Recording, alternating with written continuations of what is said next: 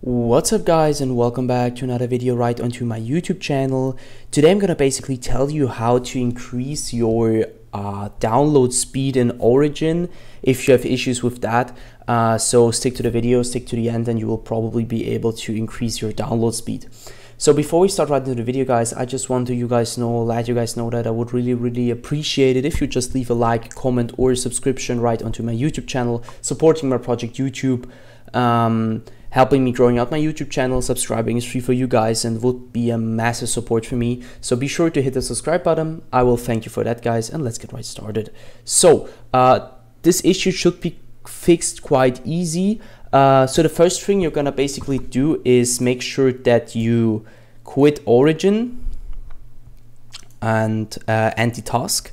And the next thing you're gonna do, you're basically gonna make a right click right into your um, desktop, go to new, go to text document and uh, open this up.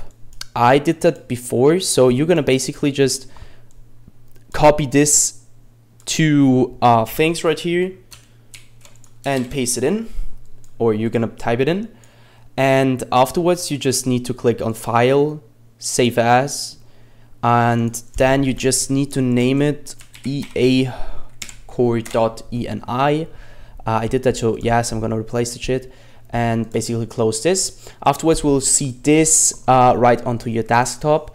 And uh, now that you finished that, you can basically restart Origin and uh, log in again, and you should be able to see a increase of your download speed.